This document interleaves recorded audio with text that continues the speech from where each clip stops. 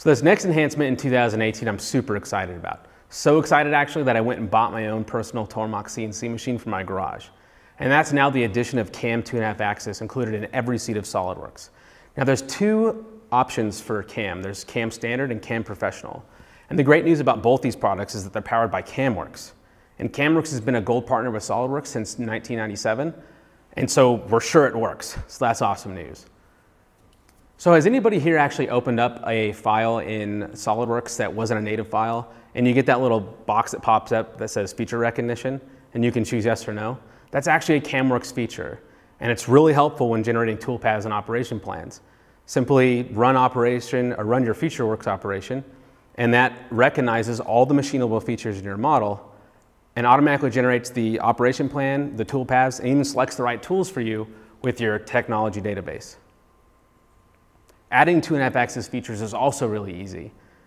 Specifying your keep out zones, or maybe even isolating particular islands on your machinable feature is extremely easy in SOLIDWORKS uh, CAM. And the great news about that is, is that it's an additional tab in your feature tree.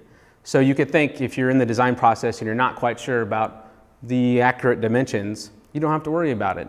You can make changes in your SOLIDWORKS feature tree and those changes will be automatically updated in your CAM feature tree, and thus your toolpaths will be regenerated. Now the key takeaway here is that when we make those changes, unlike in other CAM softwares, we don't have to re-import that model, and all our design, all the work that we put into the, the, the design and the CAM operations is automatically updated. We don't have to redo all that information. In CAM Professional, we have the additional options to also program uh, turn as well as up to five axis CNC mill. With that, we also get VoluMill and tolerance-based machining. Now, tolerance-based machining is really cool because it ties in with MBD.